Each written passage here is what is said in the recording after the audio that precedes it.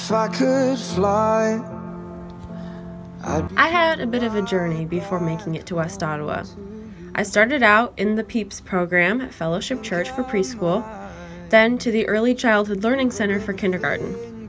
I spent first through third grade at Lincoln Elementary in Zeeland, and then finally moved to West Ottawa in fourth grade.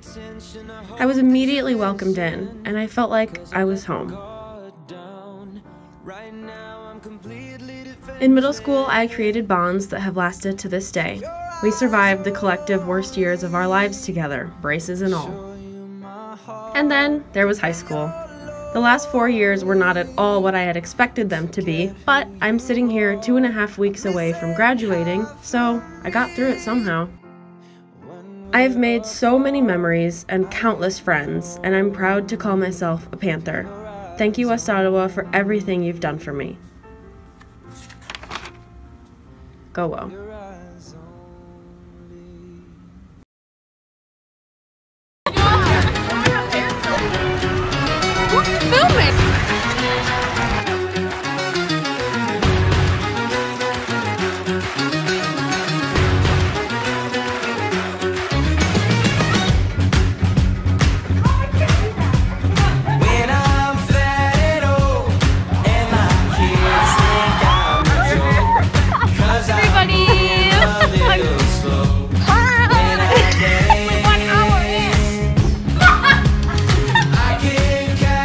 just got vaccinated.